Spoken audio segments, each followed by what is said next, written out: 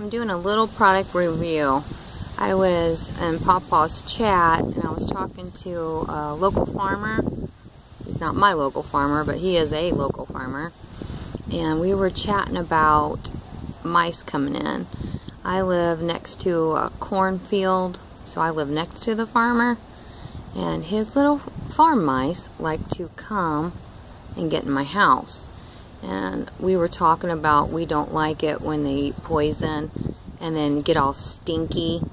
Like if you give them certain uh, types of poison they become mushy and crazy and run out in the middle of the room and they stink when they rot. This is what I get and I have every year for like seven years and it is called just one bite bar. And what I like about them so much is it kills rats and house mice. And uh, what they like to do is put it in their little cheeks and take it back to the nest. But what I've noticed is it dries them out from the inside out. And it's almost like they just blow away. So I have found them dead and they're all dried up. It really does the trick without any smell. And you have to put it away from animals. You have to keep it like one behind the washer and dryer. Places that mice come in and hide and try to get to your food. Try to come in and live as the winter as the weather turns and winter comes. But uh, here's what it looks like. It looks like corn. And they love this stuff. They'll eat the whole thing. They'll try to drag it, so you gotta be real careful around children. I always wear gloves.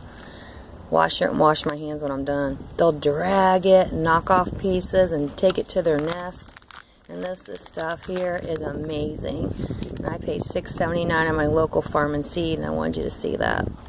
I don't know, I'm going to link below. Grizz says he's quitting YouTube, and he's never coming back. Well, He's not coming back right away. So I think he's tricking us. What a stinky little mouse. He is. What a rat. So I'll link that below and you can look it over. Tomorrow I'm doing a mukbang. I made some of Pawpaw's cornbread with bacon and jalapenos. And I'm going to make some seven bean soup. I'm going to have me a little mukbang and lunch. I've got a special musician that wants to have lunch with me tomorrow. So he'll be playing in the background. We'll talk more about that tomorrow.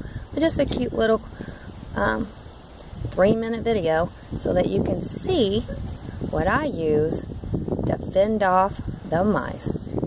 Bye guys. I appreciate you much. Until tomorrow. Bye.